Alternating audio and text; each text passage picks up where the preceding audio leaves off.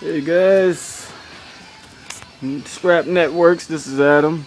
Man, um, I just wanted to do a test to see um, how much or is it worth to scrap TVs and monitors. So far I did about 30 of them. Now this is uh, just a little bit I'm showing you here. Now, go to the truck. Now I got them all packed up in the truck. Let's go out here. Now you see all of the waste we have? A lot of waste. A lot of lot of waste.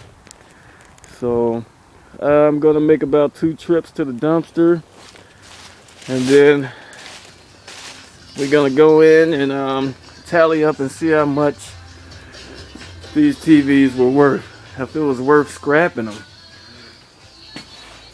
Alright, um, the next phase is to start breaking down the yokes and I know a lot of guys, they don't, I got a whole box full of these things. So I got to break them down and um, I got a lot of cords. So I did the old school trick and just um, threw it over, threw it in the old burn barrel. I'm gonna keep that on the down low there.